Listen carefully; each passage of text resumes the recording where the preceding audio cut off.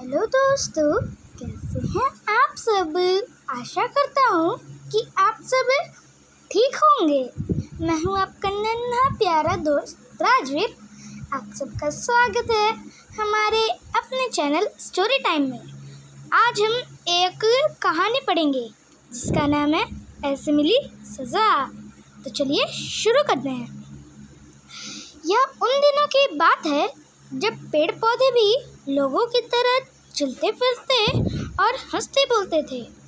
जैसे लोग एक जगह से दूसरी जगह आते जाते हैं, घूमते हैं, वही हाल पेड़ पौधों का भी था। लोग सुबह उठकर देखते कि उन, उनके दरवाजे पर कल रात तक लगा नीम का पेड़ गायब है और वहाँ पर एक अनार का पेड़ लहरा रहा है। या फिर किसी के देखते ही देखते सामने के खाली मैदान में अचानक एक आम का पेड़ आकर डेरा डाल देता और अपने संगी साथियों को भी बुला लेता। कुछ ही देर में लोग पके हुए आम तोड़ लेते। कभी किसी के आँगन में लगा कटहल का पेड़ किसी दूर देश के लिए उड़ जाता है और ऐसे ही घूमता घामता कोई सेब का पेड़ आकर कुछ दिनों के लिए वहाँ ठहर जाता।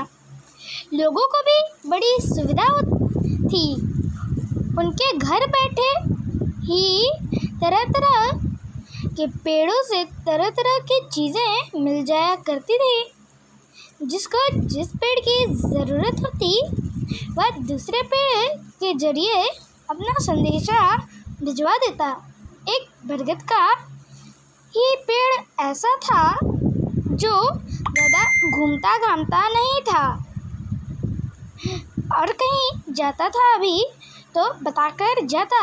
इसीलिए बहुधा लोग घर से बाहर जाते समय बूढ़े बरगद की छाँव में अपने छोटे बच्चों को रख जाते जाते समय कह जाते, बरगद बाबा, इनका ख्याल रखना। मगर अन्य पेड़ अपने घुमक्कड़ी स्वभाव के कारण कुछ ज़्यादा ही लापरवाह हो गए। साथ ही साथ उनमें यह अहंकार भी पनप गया कि वे मनुष्यों की तुलना में ज़्यादा श्रेष्ठ और योग्य हैं। एक दिन पेड़ों को जाने क्या सूझी कि वे सब साथ उड़कर दूर पहाड़ों की ओर चले गए। हरे भरे पेड़ों के गायब हो जाने से चारों तरफ़ सूखा पड़ गया। धरती सूखने लगी। लोग परेशान हो गए। जो भी पेड़ उधर गुजरता, उसे वहाँ ठहरने का निवेदन करता, पर वह किसी एक की ना सुनता। एक दिन उधर गुजरते हुए एक बेर के पेड़ को उन पर दया आ गई। वह वहाँ कुछ दिनों के लिए रुक गया, मगर उसे अकेले बेर बेर के पेड़ से वहाँ लोगों का क्या भला होने वाला था? जब उसने देखा कि लोग उसे आम, नीम पी, और पीपल के पेड़ों की तरह सम्मान नहीं दे रहे थे, हैं तो एक दिन वह भी नाराज़ होकर उड़ गया। काफ़ी दिनों के बाद वे सारे पेड़ पौधे घूम फिर कर लौट आए। जंगल फिर से हरा भरा हो गया, मगर इस बार वे कुछ ज़्यादा ही अहंकारी हो गए थे। जब उनका मन होता वे फल देते, जब उनका मन होता छाया देते, जब उनका मन होता वे हवा देते। लोग पेड़ पौधों को समझाते बुझाते उन्हें विनम, विनम्रता से रहने की सलाह देते, मगर पेड़ तस से मस नहीं होते थे। पेड़ कहते, हम क्यों झुके? हम तुमसे बहुत बड़े और ऊँचे हैं। लोग पेड़ों के घमंड को देखकर चुप हो जाते। एक बार गर्मी की तेज धूप में दो बांसों के पेड़ आपस में किसी छोटी सी बाग पर लड़ पड़े। दोनों के टकराने से चिंगारी निकली और उस एक चिंगारी ने देखते ही देखते पूरे जंगल में आग लगा दी। आग बढ़ने लगी। सिर्फ़ पेड़ पौधे ही नहीं, उस आग से जलकर अधिकतर जानवर और लोग भी जलने लगे। जंगल में भगदड़ मच गई। एक छोटा सा बच्चा अपने माता पिता से अलग हो गया। वह अकेला बच्चा फूट फूट कर रोते हुए अपनी माता पिता को ढूंढ रहा था। उसकी करुण पुकार से पेड़ों के सरदार बरगद वायुकुल हो गया। उसने छोटे बच्चे को अपनी गोद में उठा लिया। पेड़ पौधों की मूर्खता और घमंड से वह बहुत दुखी हो गया।